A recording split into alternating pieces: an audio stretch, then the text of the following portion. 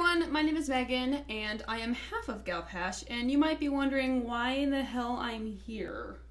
Uh, that's because this weekend I get to be out of town for work, so I'm recording from a hotel room.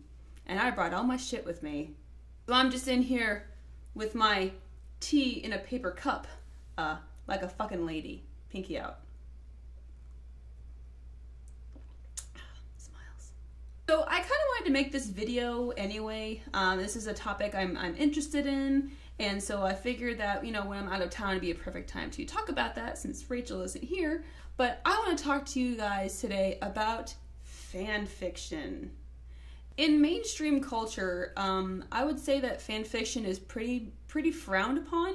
Um, even though since there's been literature, there's been fan fiction. Since there have been characters that have been created by others, and others have enjoyed those stories and characters, there has been fan fiction. So it's just a part of our culture and it's a part of literature. So I think that we should just embrace it already and let's talk about it. Fan fiction as a whole, I, I think, is a huge, untapped fandom subculture that's out there. It's kind of one of those things that's out there and it exists and everyone knows that it exists, but it's not really something that a lot of people willingly talk about or or advertise. Don't get me wrong, there it's still definitely, you know, popular. But, you know, watch any, t- you know, kind of TV shows or movies when they talk about fan fiction, you know, usually the kind of connotation that it is is, you know, there's this nerd and they're like reading or writing Star Trek fan fiction and you're you're kind of supposed to look down on it. But fan fiction has existed since literature has and stories have existed. This isn't new. And the fact that it has such a negative connotation, kind of it's kind of shitty. So, much like Rule 34 of the internet, and if you don't know what Rule 34 of the internet is, just Google it. Or don't, just save yourself the trouble. But if it exists in pulp culture, there's probably a fan fiction about it. Fan fiction is so diverse and it's so just imaginative and creative, and it's this huge, huge outlet for people that if it exists, there's a fan fiction for it. Um, for those who are new to fan fiction and don't really know what I'm talking about, you know, fan fiction isn't just, you know, I like these characters, so I'm going to write about them. Okay, that's kind of basic. There is so many different options out there. If, you know, things you can't even imagine that may exist exist in fan fiction. So this is what we called AUs, so or alternate universes. And there's so many kinds of AUs that are out there. Oh my god, some of the things that I see out there, it's amazing. There's also smut, so you know, don't think that that that totally exists too. But some examples of alternate universes for fan fiction, there's the coffee shop, college, dorms, there's the soulmate AU, so the whole idea of them traveling through time in different parallel universes, and they always seem to find each other because they're soulmates. I love that one. That's one of my favorites.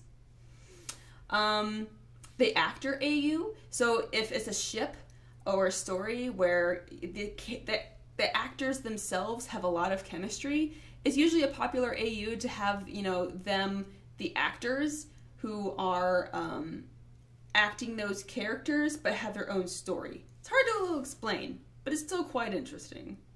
I don't know how I feel about it because the actors are just portraying the character, but eh, to each his own. Um, there's also reversed roles, so you have different characters put in other characters' positions, so they're like flip flopped, so to see kind of where that dynamic goes.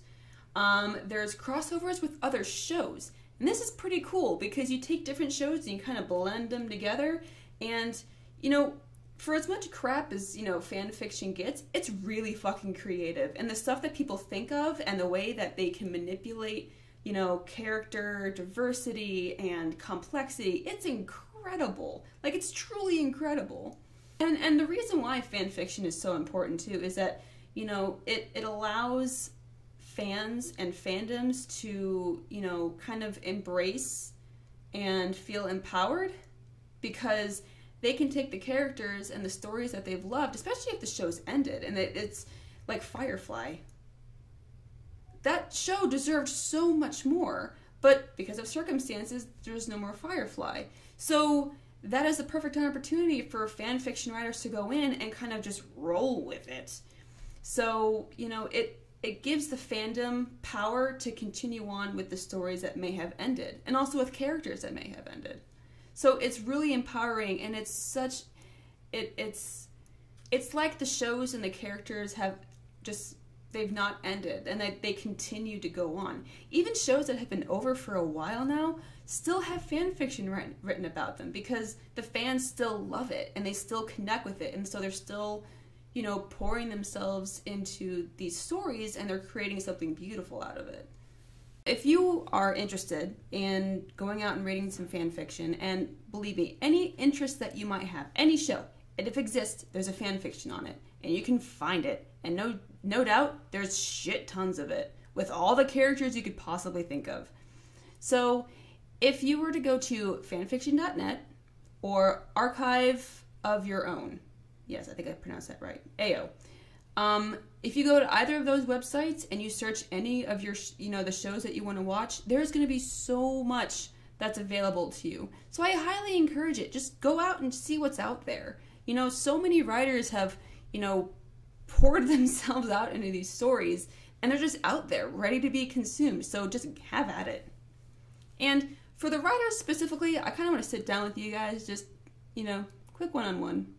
Um, for those who don't know, uh, I am a writer, which I mean that I'm writing a book and I haven't been published yet, and it's so hard.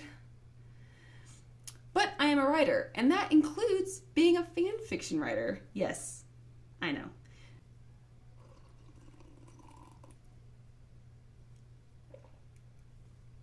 A lot of people will tell you that fan fiction isn't real to write, or that you aren't considered a real writer if you write fan fiction. And to that, I call bullshit. Because anything you write, if you're writing, you're a writer. So if you have any interest at all in in pursuing a writing career, fan fiction is a completely legitimate and good route to start off as. And I see this as someone who has. When I was in middle school, I started watching Sailor Moon and Dragon Ball Z, and I was obsessed with that shit. I started writing fan fiction for Sailor Moon. And it was weird. It was like a weird merge between Sailor Moon and Dragon Ball Z, where it was like Sailor Moon characters, but like Dragon Ball Z, like powers and shit. And it was terrible. It was so bad. And I'm talking like circa 1999, year 2000, like turn of the century kind of time frame. So I wrote all of my fan fiction down. I wrote it down on paper, and it was so, so bad. I got to the point where, for some reason, one of my characters, like, exploded and like evaporated into like a pile of ash and I had that pile of ash scream. Why a pile of ash would scream, just an object would scream like that, I don't know. I was 13. I didn't know any better and I was terrible. But the point I'm trying to make is that regardless of what you're writing, whether it's fan fiction, whether it's, you know, a novel, anything like that, when you first start out writing, you're going to suck. It's going to be terrible your sentence structure isn't going to go right, your characters aren't going to cooperate. It's just going to be difficult and it's going to suck. And I don't say that to be discouraging.